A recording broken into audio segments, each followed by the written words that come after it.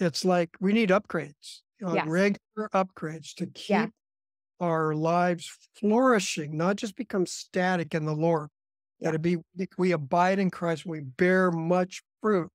Amen. And so Richard Lovelace says that prayerlessness reflects and reinforces inattention to God. It's a circle.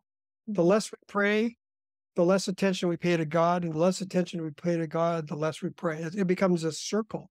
Mm-hmm. And I, I want to get out of that black hole and pay attention to God. Sometimes it's very subtle in how He moves and operates in and around and through me. And when I connect with Him and I see answers to prayer and I know that He's alive, He's real, He hears, man, that revitalizes my heart. Yeah. And so Leviticus 6:13, fire shall be kept on the altar continually. It shall not go out.